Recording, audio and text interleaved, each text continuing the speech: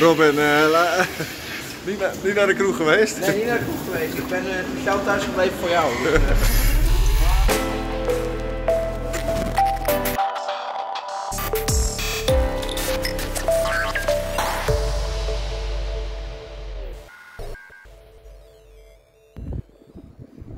Een rondje hier op de fiets in Zuidoost-Drenthe.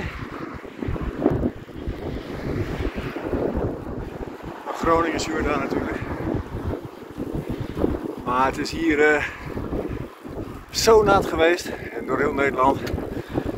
Hier staat gewoon nog heel perceel eh aardappels op land. Er is bijna niks van geroerd. Hebben ze het wel geprobeerd. Gewoon vastgereden.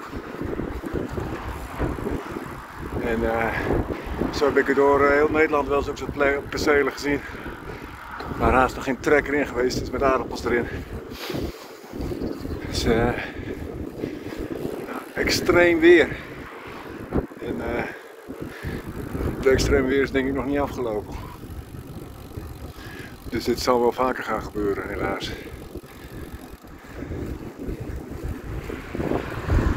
En hier ligt nog een perceel vol met aardappels. Als het herfst was nu, zou je zeggen, ligt er prachtig bij. We gaan straks rooien. Maar dit is eh, helaas het voorjaar. Helaas niet gerooid. Ik krijg toch tranen van je ogen als je dat ziet.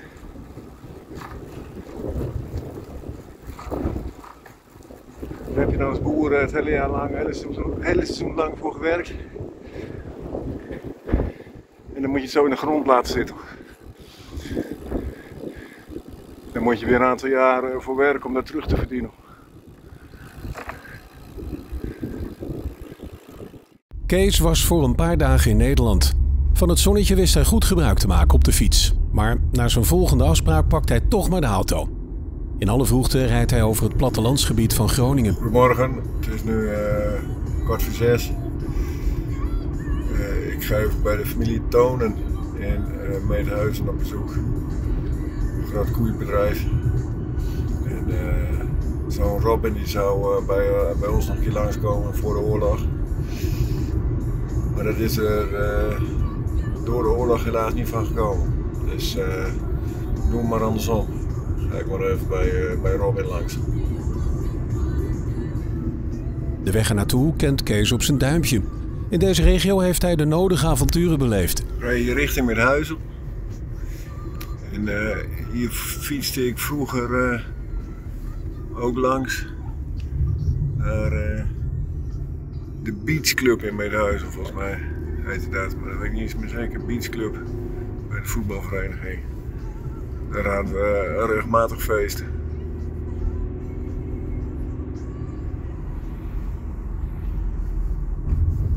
Eenmaal aangekomen is er geen tijd voor de spreekwoordelijke koetjes en kalfjes. Er wordt hard gewerkt bij echte koeien. Ik ben hier rechtstreeks bij Robin eh, de melkstal ingelopen. Hij heeft het druk natuurlijk, en dat is ook goed. en die arme jongen die is gisteren niet naar de kroeg geweest. Robin, la- niet, naar, niet naar de kroeg geweest? nee, niet naar de kroeg geweest. Ik ben uh, speciaal thuis gebleven voor jou. Dus, eh, maar Ja, dat is toch mooi van Robin.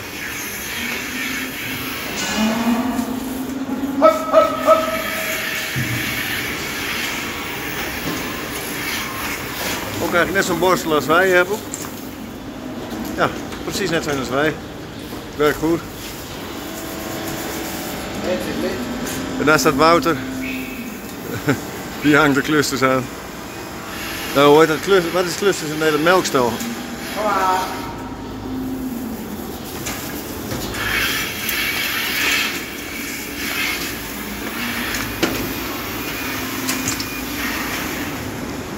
Hola. Oh, dat is wel doorwerken hier zo met z'n tweeën. joh. Moet ook daarachter zit een gangetje onderdoor. Eh, loopt eh, Robin dan doorheen om aan de andere kant koeien te dippen.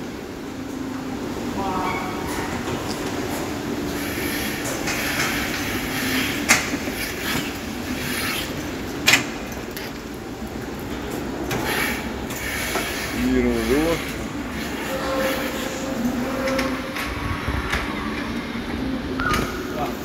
En dan hangt Wouter hier uh, melkstallen weer aan.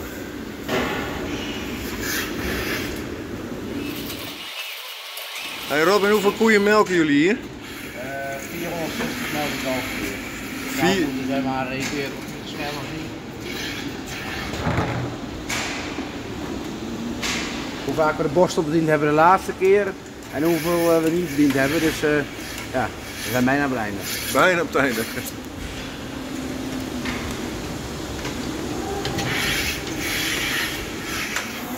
Robin zegt net, met z'n met tweeën kunnen ze ook 60 stand staan. Maar hoeveel koeien melken jullie per uur nu? Ja, ik denk gemiddeld een beetje rond de 200 koeien denk ik. 200 koeien met, met, per uur met z'n tweetjes? Ja. ja. ja. nou, wij doen in, in mijn 80 stands in Oekraïne 400 koeien of 450 koeien met z'n vieren. Ik denk dat wij wel iets hoger kunnen zitten dan 200, ja 22. Maar dit is ook net wie de melkt en wie, uh, wie er iets meer uh, iets fanatieker is dan de andere. Ja. Maar zeg maar rond de 200 koeien dat je dan gemiddeld met een keer uh, problemen en een keer uh, terugkomen dat je rond de 200, 210, 215. Oh, dat is wel netjes. Ze zijn eigenlijk met uh, twee man aan het melken in deze 50 stands uh, carousel. Nou, vandaag even met drie.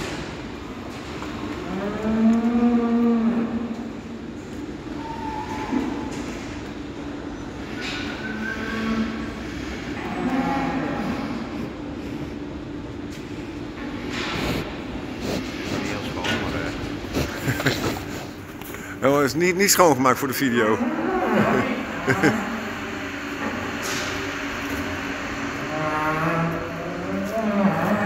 maar, oh, daar heb je nog wat, wat paardjes achter. ja, papa.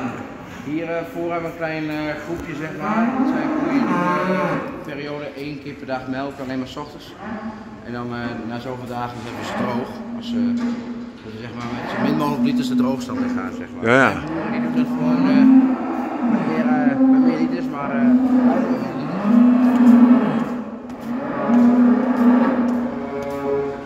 Moet Wouter nou alles alleen doen, hè? Ja, we gaan gewoon heen.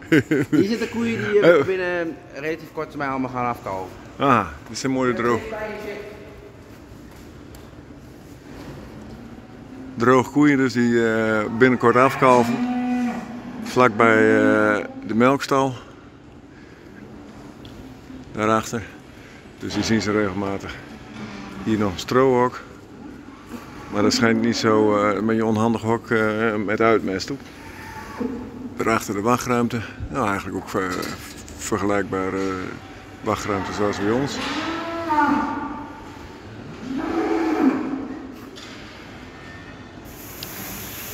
Hier het uh, drijfhek in de wachtruimte. Zit een schuif onder. Als hij terugschuift aan het eind van het melk op. Dan schuift hij de vloer uh, schoon.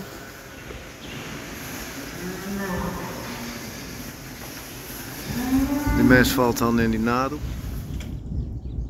De zon komt ondertussen al op, terwijl Kees en Robin al bij het laatste deel van de rondleiding aankomen. Die melk gaat hier rechtstreeks naar de kalfjes.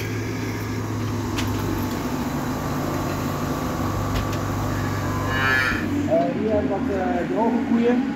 En uh, dit is een verzamelgroepje, zeg maar. Dit is uh, jongvee dat, hier staat, zeg maar. En dat hebben ook eens gereserveerd, want elke periode krijgen we nog onze jongveeopfokker in Gelderland.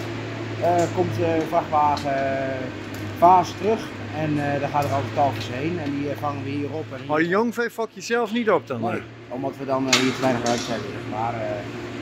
ja, ah, oké. Okay. En te weinig fosfaat. En, ja, de stal is ook niet groter, dus uh, zo benutten we zeg maar de, Heb de je stal best. maximaal stal voor de melk, zeg maar? Ja, maar we zouden nog wel een paar keer meer kunnen melken, alleen uh, zijn we eerst niet van plan.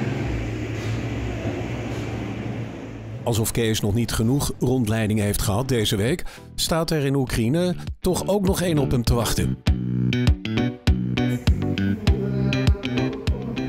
En dit keer van de fabriek die zijn melk verwerkt. Hij krijgt een mooi kijkje achter de schermen.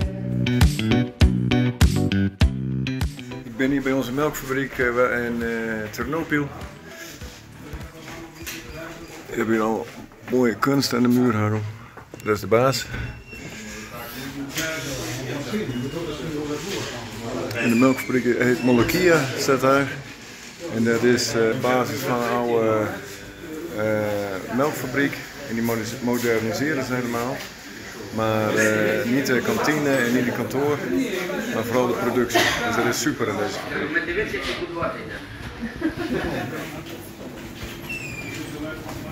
Er zijn allemaal vier, vijf boeren die hier stabiel melk leveren aan deze melkfabriek. Gewoon met Europese kwaliteit, zullen we maar zeggen. Dus deze melk die kan je gewoon ook in de Europese supermarkten kwijt. En die boeren leveren ook altijd de beste kwaliteit. En dat is een, stabiel, dan, uh, dat is een stabiliteit voor de fabriek. En op basis daarvan kunnen zij ook hele goede producten leveren. Dus uh, dan één keer per jaar verzamelen met z'n allen hier. Is de directeur. En verzamelen met z'n allen hier. en dan krijgen we weer een update hoe het erbij staat.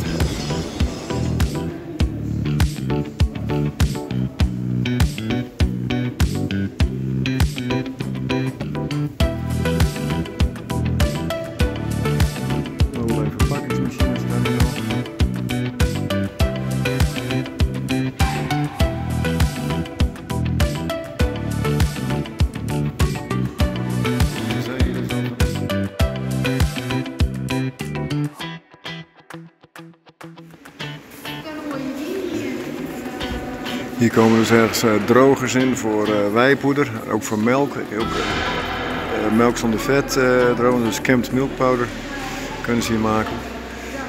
casine gaan ze hier later ook maken. Dat is ook voor export. Dus het geeft ook weer stabiliteit dat je dan dollar inkomsten hebt, harde valuta. Ik geloof dat dit is een gedeelte van droger om melk of, of wei in te drogen. En dit uh, is een uh, Oekraïns bedrijf in Kalinivka die deze dingen al heel lang maakt. En die doen ze in samenwerking met uh, GEA uit Duitsland, voormalig Westfalië. Dat is een collega, Sergej. Nou, dat best platen. Ze vraagt of een gratis opname is.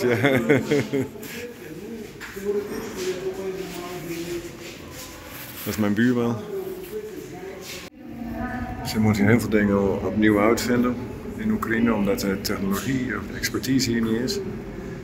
Uh, ze doen ze samen met hun aannemers en met uh, adviseurs. En ze vinden zelf heel veel uit. Uh, en, dit is, en daarmee is het eigenlijk gewoon een supermoderne fabriek. die ook echt allerlei verschillende melkproducten of onderdelen van de melk kan exporteren wereldwijd. Daar wordt melk eh, ingepakt. Dat gaat in, in zakjes. En dat scheelt een hele hoop in verpakkingskosten ook, want die melk is echt uh, een paar griffen goedkoper in de winkel. Per verpakking. Kees grijpt tijdens de rondleiding de kans aan om met de eigenaar te spreken. Want Kees is wel benieuwd naar het businessplan achter de melkfabriek. Dit is Sergej Stepanovic, die is de eigenaar ook. Stepanovic, сколько молоко вы тут переробляете? 500 ton per etmaal.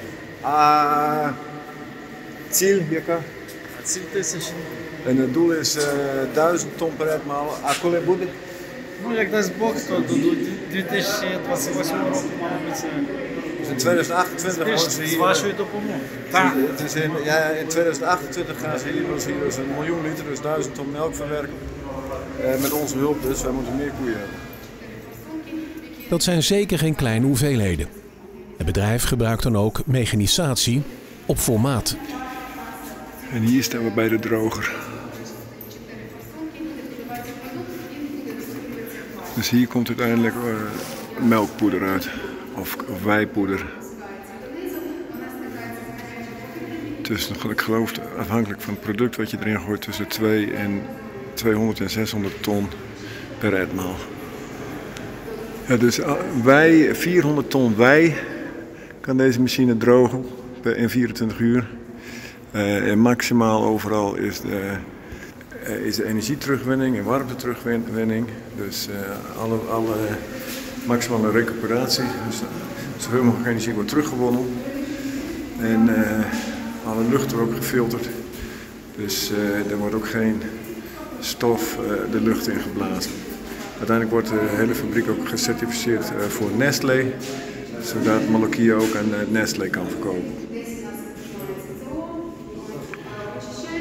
Net zagen we de onderkant van de droger en dit is van de, de bovenkant van de droger. Dus de onderkant zit op de derde verdieping en de bovenkant op de zevende verdieping.